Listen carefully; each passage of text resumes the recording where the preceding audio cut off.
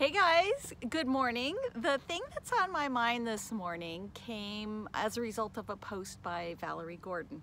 If you're not following her, you totally want to do that. She is a storytelling expert, a keynote speaker, and a workshop facilitator, and she specializes in helping uh, you tell your story and really creating a story that uh, ends up helping you to create the life that you desire.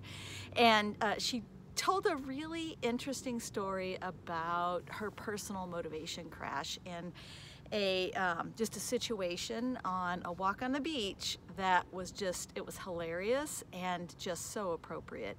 And it, it really hit home with me because I am in a motivation crash myself right now. Um, just do some personal and business things that are happening for me.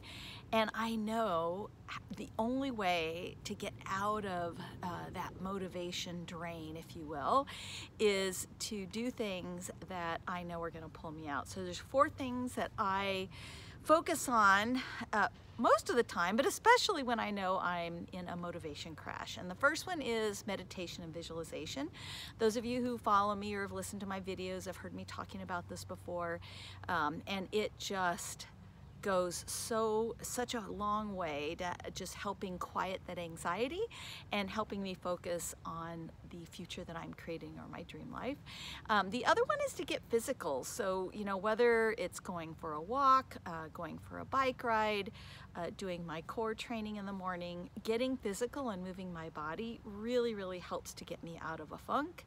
Um, the other one is journaling. So I am a huge journaler. I've, I've created a digital goal journal. We're working on a hard copy uh, edition that I'm super excited about. And I'm passionate about journaling because I've seen the difference that it makes in my life and in um, others in terms of the actions that we take, our mindset, and just the way that we move forward towards our dreams. Um, which brings me to the fourth thing, and that is taking deliberate action. And I think this one is really the hard one when you are in a slump or you're just not feeling motivated.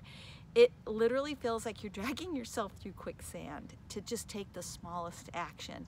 Yet, when we take those small actions and those small steps and take a step back and go, hey, I did these three things today that are going to move me closer to my goals, it really changes our outlook and little by little we'll start to see that motivation creep back in. So those are the four things I do when I'm in a motivation crash. I would love to hear from you in the comments. What do you do that works? Um, whatever you do, keep moving forward because we only get one shot at this life and we get to create as Valerie would say, the end of our story. So, um, and there's always a next chapter.